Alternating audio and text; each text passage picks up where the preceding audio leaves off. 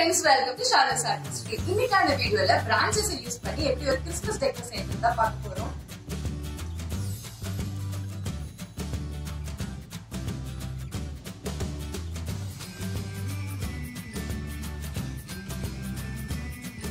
இந்த மாதிரி காஞ்சி போன குச்சிகளை எடுத்து வச்சுக்கலாம். இப்போ இந்த குச்சிகளை ஒட்டுக்கா சேர்த்து வைக்க போகிறோம் இதுக்கு நம்ம யூஸ் பண்ண போகிறது hot glue hot glue use பண்ணி இருக்கிற எல்லா குச்சிகளையும் ஒன்றா சேர்த்திடலாம்.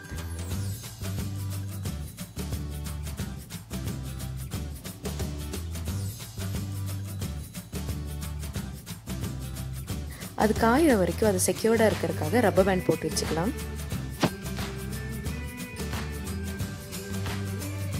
இந்த குச்சிகளுக்கு நடுவில் எங்கெங்கெல்லாம் கேப் தெரியுதோ அங்கெல்லாம் ஹாட் க்ளூ யூஸ் பண்ணி நிரப்பிடலாம்.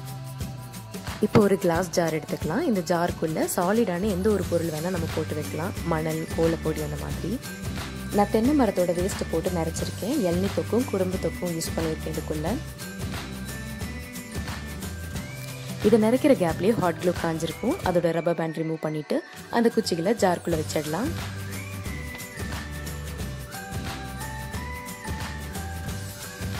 க்ளூ கன்னை நல்லா சூடு பண்ணிடுங்க அது சூடான பின்னாடி அதுக்குள்ளே இருக்கிற ஹாட் க்ளூ யூஸ் பண்ணி அந்த குச்சிகை மேலே சின்ன சின்னதாக பார்க்கறக்கு பனித்துளி மாதிரியான எஃபெக்டை வந்து நம்ம கிரியேட் பண்ண போகிறோம்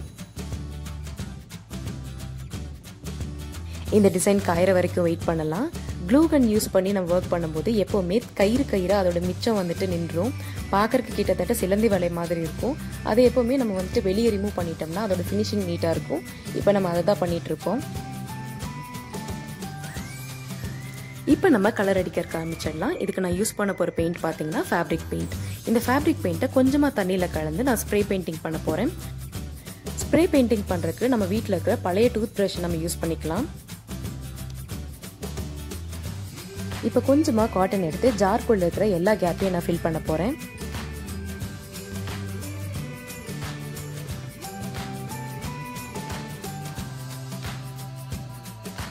தண்ணியும் ஃபெவிகாலும் ஒரே அமௌண்ட்டில் எடுத்து நல்லா கலக்கிக்கோங்க. இப்போ இந்த பேஸ்ட்டை நம்ம செஞ்சு வச்சுருக்கிற மரம் ஃபுல்லாக தடவை போகிறோம் மெயினாக அதோட மேல் புறத்தில் நிறைய அப்ளை பண்ண போகிறோம் இதை அப்ளை பண்ணி முடித்த பின்னாடி கோலப்பொடியோ இல்லை கலர் பொடியோ எடுத்துக்கோங்க. இந்த கோலப்பொடியோ இல்லை கலர் பொடியோ அது மேலே நல்லா தூவி விடுங்க. நல்லா ஒட்டுற வரைக்கும் நீங்கள் தூவிட்டே வைங்க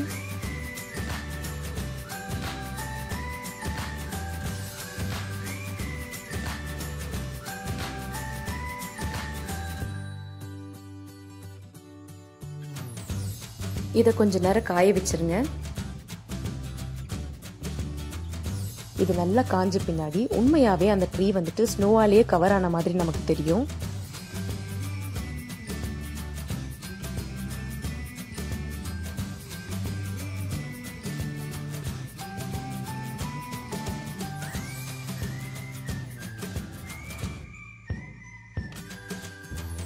இப்போ கிறிஸ்மஸ் ட்ரீக்கு நம்ம பொதுவாகவே யூஸ் பண்ணக்கூடிய அந்த ஹேங்கிங்ஸை யூஸ் பண்ணி இப்போ நம்ம செஞ்சு வச்சிருக்கிற அந்த ட்ரீயை வந்து நம்ம ஃபில் பண்ண போகிறோம் அதிகமான வெயிட் நம்ம கொடுக்காம முடிஞ்ச அளவுக்கு கம்மியான வெயிட்டே நம்ம ஃபில் பண்ணுவோம். இப்போ வெள்ளை கலரில் கயிறு எடுத்து அந்த ஜாரோட கழுத்து பகுதியை டிசைன் பண்ண போகிறேன்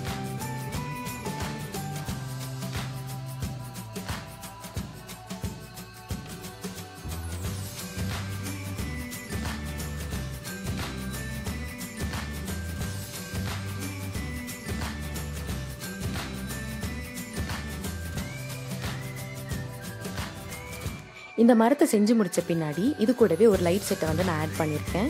இந்த லைட் செட் பார்த்தீங்கன்னா பாட்டில் ஆர்ட்டுக்கு யூஸ் பண்ணக்கூடிய ரொம்ப தின்னான லைட் செட்டு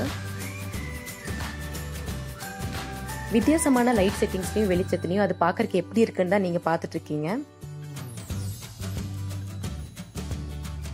இதே வீடியோவை நீங்கள் இங்கிலீஷில் பார்க்கணுன்னா டிஸ்கிரிப்ஷன் பாக்ஸில் இருக்கிற லிங்க் யூஸ் பண்ணி பாருங்கள் இல்லைன்னா மேலே இருக்கிற ஐ பட்டன் யூஸ் பண்ணி பாருங்கள் இந்த வீடியோ உங்களுக்கு பிடிச்சிருந்துச்சுன்னா கண்டிப்பாக இதை லைக் பண்ணுங்கள் உங்கள் ஃப்ரெண்ட்ஸோட இதை ஷேர் பண்ணுங்கள் இது வரைக்கும் நீங்கள் சப்ஸ்கிரைப் பண்ணலைன்னா மறக்காமல் ஷாலூஸ் ஆர்டிஸ்ட்ரியை சப்ஸ்கிரைப் பண்ணுங்கள்